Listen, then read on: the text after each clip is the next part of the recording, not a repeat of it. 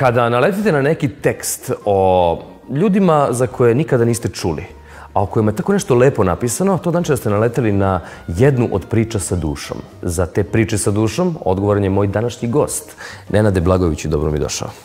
Hvala Miloše, drago mi je da sam u emisiji Otvorite Atlas, pošto ga ja često otvaram, evo sad i pred kamerama. Tamo ćemo sada da vidimo koliko često otvaraš Atlas i šta sve to ima u njemu. Ali hajde prvo da se vratimo na, na priče sa dušom, e, kroz koje je prošlo oko hiljadu i po ljudi. Ja ne znam, verovatno ne znaš i ti koliko je da, to. Da, ja sam to prestao da brojim, ajde da kažemo, hiljadu i po ljudi, od negde oko, kroz nekih 400, sad trenutno ja mislim stiglo već i do 500 priča. Svi su oni u poslednje četiri godine ispričali svoje neobične priče. To su ljudi sa svih meridijana, uglavnom sa, iz Balka, sa Balkana, znači iz Srbije i okolnih zemalja, ali uglavnom nekada, kažem, ta ex-ju teritorija sa uh, plus dijaspora, znači koja, koja se tu pojavljuje ponekad i tako, eto, vredni, talentovani ljudi koji rade nešto zanimljivo.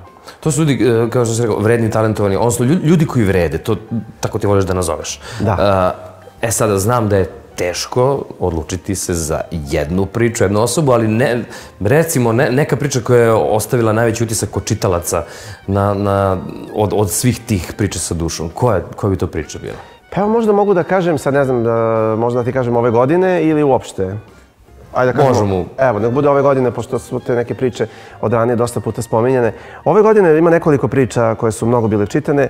Recimo, jedna je e, izašla prošlog meseca, to su dva momka, iz, jedan iz Beograda, drugi iz Kuršumlije. Ovaj iz Beograda sa Vračara.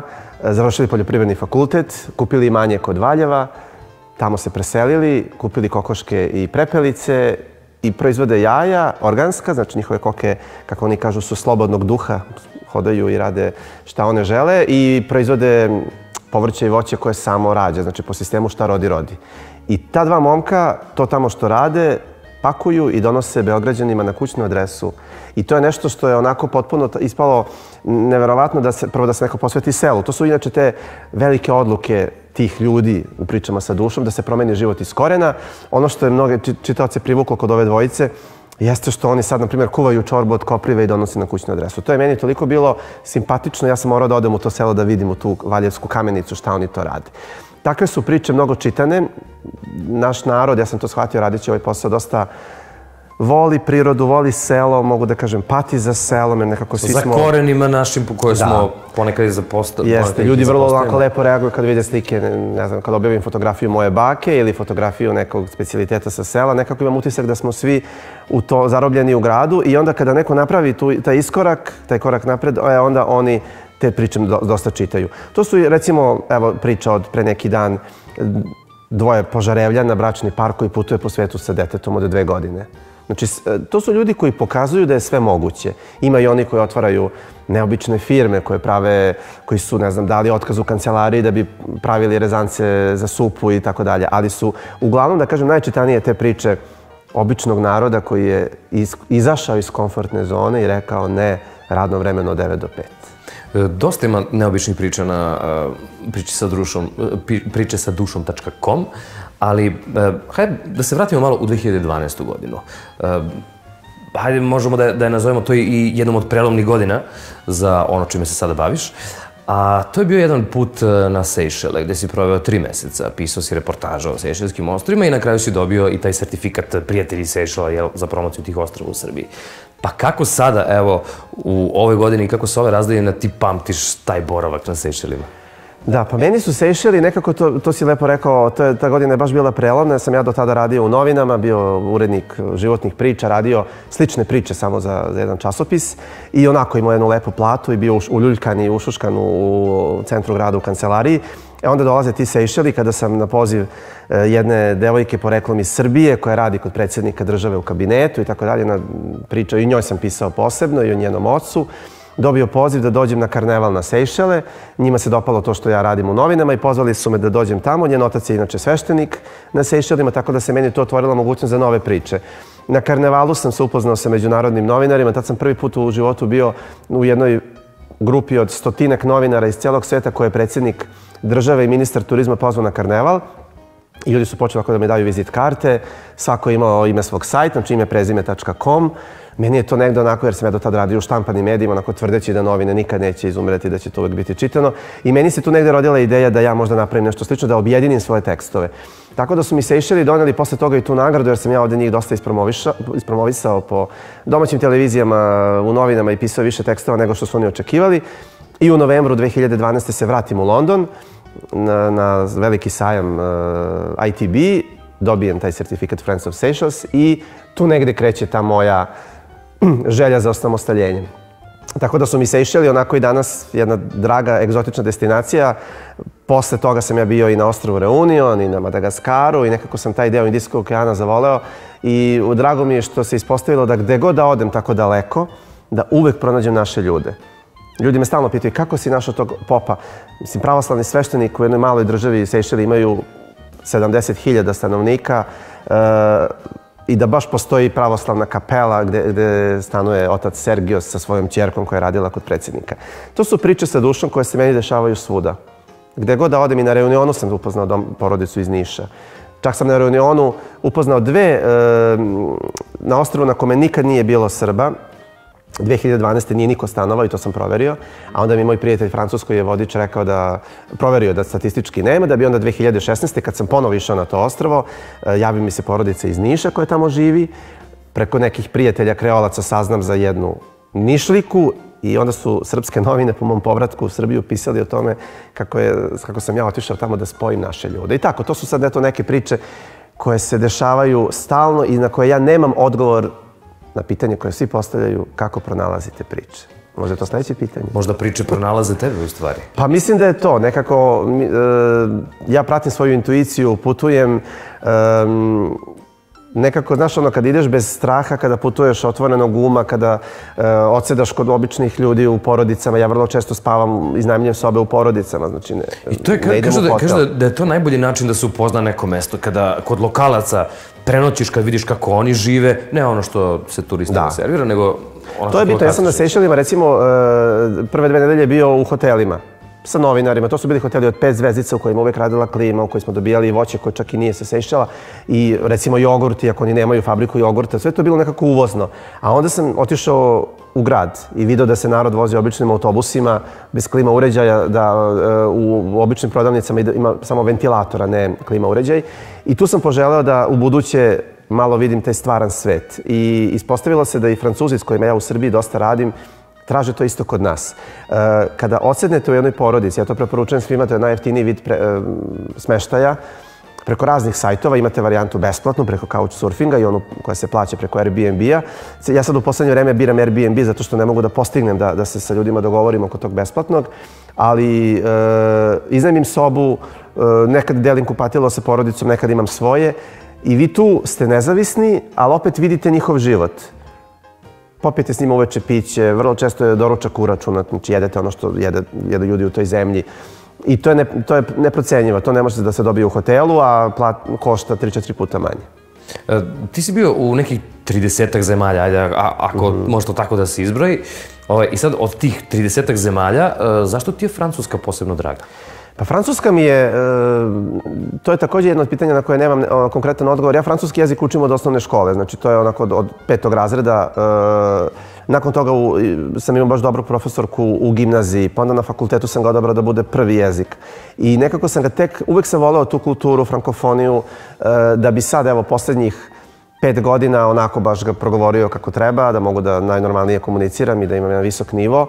E, umeđu vremenu sam dosta upoznao prijatelja iz Francuske i on sam se osmelio da uradim nešto što je takođe bilo ljudima onako čudno u mom okruženju, a to je da pred tri godine krenem da radim ture, položim vodič za vodiča, e, e, ispit za vodiča i da krenem da radim turističke ture za francuske turiste koji dolaze ovde. Tako da je onda nekako to krenulo, ti moji kontakti da se šire u Francuskoj, da ja imam praktično u svakom gradu po nekoga koji je ili bio kod mene na turi ili koji je moj prijatelj. E, onda umeđu vremenu je to se proširilo na Tunis, Alžir, Maroko i meni je francuski jezik stvarno doneo e, nešto, e, jedno veliko bogatstvo, kako da kažem, i duha i mogućnosti za putovanja. I ja vrlo često vidim, evo sad je nova avio kompanija počela leti iz Beograda, na toj konferenciji sam progovorio na francuskom onako ti direktori su samo rekli jao i nekako otvara ti vrat. Da, da, baš su bili oduševljeni. E, nemam neki, sad ljudi pitaju zašto, jednostavno volim volim taj, kako da kažem, volim i tu, vo- volim kulturu, eto to je negde, i gastronomiju. Na stranu sad, da kako da kažem, istorija i ostalo što se tamo dešavalo, e, volim da Francuzima ovde u Srbiji predstavim našu kraljevsku porodicu, recimo to je ono što njih mnogo zanima.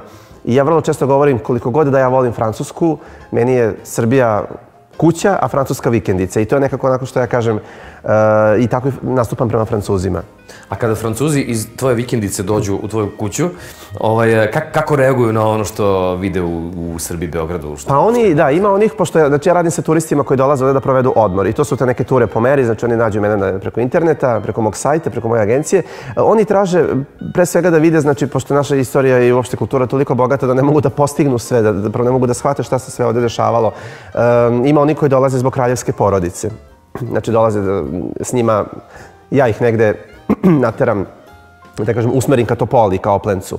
E, ima oni koji dolaze zbog Ju- Jugoslavije, ali e, u poslednje vreme sve više dolazimo oni koji dolaze zbog Uče, zbog e, filmova Emira Kusturice, zbog muzike Gorana Bregovića, zbog Novaka Đokovića. Ali ono što njih u poslednje vreme najviše e, interesuje to je Beograd i to je da vide to, da vide te stare zgrade koje mi smo promenili da budu, promenili smo im namenu. Znači da vide, na primjer, stare fabrike koje su postale klubovi, da vide stare neke zgrade koje su postale kafići, da vide taj vintage stil i da vide te, znate koliko se oni dive zgradi, to, to mi ne možemo ovdje da shvatimo kad dolazimo sa aerodroma i kada idemo autoputem i kad vide zgradu Genexa.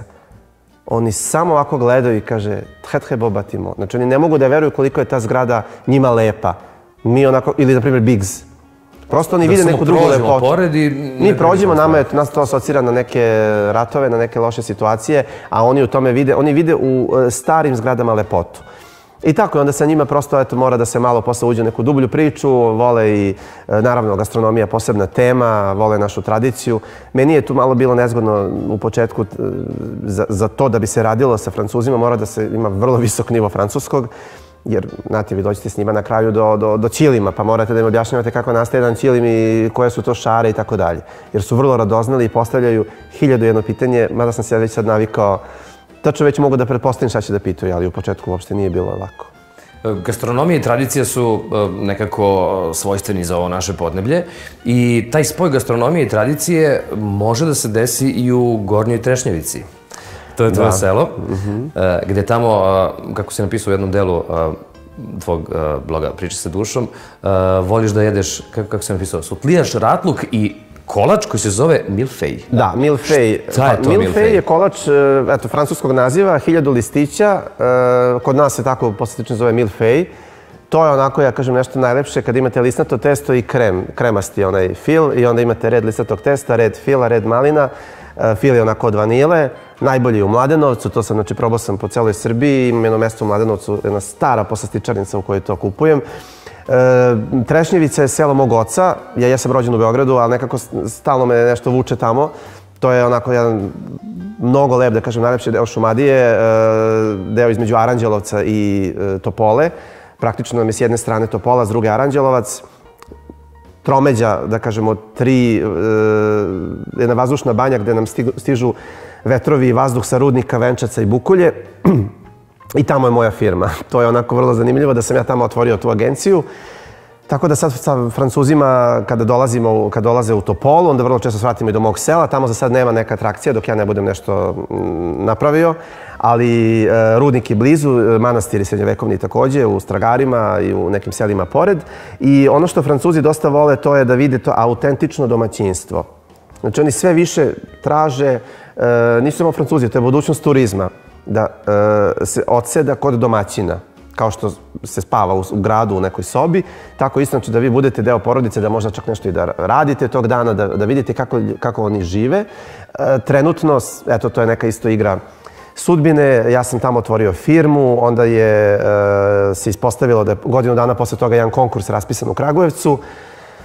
Regionalna razvojna agencija za Šumadiju Pomoravlja raspisala konkurs za razvoj tog dela Šumadije i ja sam se tu prijavio kao jedna od retkih firmi koja posluje u turizmu, ovom receptivnom tamo.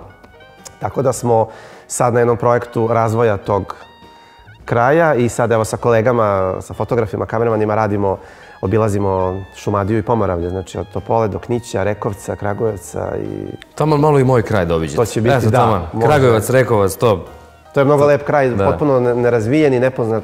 Nama je cilj da malo sad, znate, ne samo tim Francuzima, nego i našim ljudima da predstavimo. Jer naši ljudi imaju utisak da ne znaju šta sve ima u ovoj zemlji, da može da se sedne u auto i da se, ili, u, ali, ili čak autobusom. Mislim, evo ja, na primjer, vrlo često idem vozom, autobusom na, da obiđem neka mesta. I mislim da, ali ljudi vole kad im se to predstavi na lep način. Kad sad ja njima kažem imate pored Topole malo selo gde imaju br, e, dve, tri brnare, tu može da se pojede nešto, ima bazenčić, ne znam, noćenje košta 2000 dinara i onda ljudi kada to vide da je neko već bio, onda je to automatski preporuka. da, da. Da. Tako da eto, to je onako sad, ja verujem da je budućnost u, u, na selu, pogotovo turizma. Evo, Zahvaljujući pričamo sa dušom, e, saznali smo za e, još, jednu, još jednu interesantnu tortu, torta Mira Banjac. Kako je ukusa ta torta? U ta torta mnogo, ja inače... I baš je jedinstvena priča Deluje onako da ja idem non stop po nekim poslastičarnicama, ja volim slatko, ali volim tako kad nešto naj, na, naiđem, nađem nešto zanimljivo. Ta torta je iz Novog Sada. Uh, ona je skroz drugačija od ovog milfeja. Milfej je onako jedan ležerni kolač sa malinom i kremom, a ovo je potpuna kalorijska bomba, znači čokolada i samo čokolada. Uh, Nazvat ćemo čokoladna rapsodija, da ne bude Da, bomba, da, da. da. ne pomisle ljudi da je nešto Mira strašno. Banjac je e, naša glumica poznata je, ona je rodom iz Srema, ali u Vojvodini, u Novom Sadu je dolazila često u jednu poslastičarnicu i toliko je naručivala tu tortu da je čak za 80. rođena naručila tortu od 80 kg. I onda je vlasnik tog mesta rešio da to napravi tu tortu kao atrakciju. I promenio joj ime i stavio torta Mira Banjac. I to je sada stvarno kada dođem u Novi Sad, to je obavezno. Mislim, sad preporučujem da oni baš i najveći sladokusci da podele sa nekim jer je ogromno parče i stvarno nije lako ovaj, pojesti. Tako da je ta torta postala nova atrakcija Novog Sada. Turistima ne mogu sad nju toliko, Francuzima, oni sad ne znaju sad ko je Mira Banjac, ali njima predstavljam neke druge stvari kao što je bermet i ostale i štrudla, na primjer, ali e, evo, preporučujem svima da, da pronađu na internetu tu tortu Mira Banjac i da probaju. A šta bi preporučio ovako kada bi te pitao, pošto u emisiji obavezno pitam goste, e, koju bi destinaciju preporučio ljudima da obiđu, koje bi to mesto bilo? Je li bi to bila Srbija ili inostranstvo? Nešto po tvom izboru, nešto što ti je onako ostavilo na tebe najveći, najveći utisak. Pa evo sad ovako, da bude nešto da nije predaleko, sad da ne pričamo o tim ostrovima što možda ne može svako sebi da priušti jer je prosto mi novinari lakše do tih mesta stignemo. Pa neka bude jug Francuske, to je nešto što je meni i dalje onako, to je znači Marselj. To je mesto koje je meni ne samo zbog tog mentaliteta koji je nama sličan, ali to je mesto koje je mnogo vezano. Ja nekako sam tu dosta emotivan kad je u pitanju srpska istorija i meni je taj moment kad sam došao do spomenika e, kralju Aleksandru, odnosno koji je ubijen u Marselju i uopšte spomenika Jugoslavije, nekadašnje kraljevine Srba, Hrvata i Slovenaca, da se ispravim. E, meni je to tako nekako imalo emociju i, i uopšte e, Francuzi iz Marselja su me vrlo lepo primili. Oni mnogo vole kad neko dođe iz Srbije. Oni poznaju naravno istoriju i znaju koliko smo bili bliski. I sad evo najnovija destinacija koja mi je tu preko puta, to sam ove godine bio u, na Korzici i to je onako takođe jedno, našao sam jedno malo selo gde je 5000 Srba e, bilo primljeno za vreme Prvog svjetskog rata. Francuzi, odnosno Korzikanci su 5000 srpskih izbeglica prihvatili, otvorili im školu i oni su živali tamo, imali su i svoj dom zdravlja, lekara i groblje i sve ostalo. I tu sam bio pre dva meseca, ovaj, zahvaljujući Francuzima iz Beograda i tamo sa Korzike koji su me pozvali. Eto, to nek bude za inostranstvo. Onako plus, šta mnogo volim, to je Belorusija, možda ne ide baš uz Francusko, to je zemlja koja mi se mnogo sviđa, a u Srbiji, pa evo, ne znam, neka bude, neka bude sad ovaj kraj u kojem, u kojem ja radim, jer ja u Gornjoj Trešnjevici stvaram, E, tamo je moja kancelarija, tamo pišem priče nekoliko puta mesečno e, i neka budu ta le- najlepša sela, znači od Trešnjevice ka Rudniku, Ovsište, Stragari, e, tu ima mnogo lepih domaćinstava, pored Topole Kapetanovi vinogradi. Znači mislim da, da tu onako može da se nađe i, i dobra hrana i prenoćište, a i da se posete mesta za koje recimo ljudi uopšte nisu znali da postoje. Nenade, hvala ti što si e, od ove emisije napravio gostovanje sa dušom i hvala ti za ove priče što si izdvojio vremena za nas. Hvala na pozivu.